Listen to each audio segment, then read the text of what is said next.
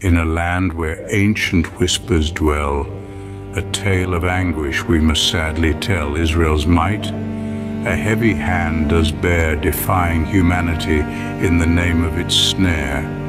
In Palestine's heart a story unfolds of people oppressed, their dreams put on hold, occupation's weight, a relentless grip, humanity's plea for justice does slip. Tears in the eyes of a child's innocent gaze as walls divide and hope's fire decays.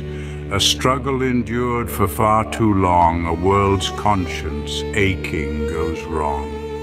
Yet in this darkness, a flicker of light, resilient hearts still dare to fight for peace, for justice, for freedom's embrace. In the midst of despair, they find their grace. But as the world looks on with muted voice, institutions silent, leaving no choice, to those whose rights are torn asunder, a plea for justice, a world's silent blunder.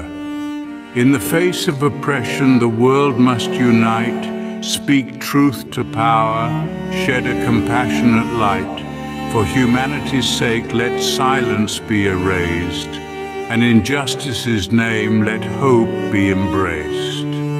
Let us pray for a day when hearts find peace, when suffering and strife in this land will cease.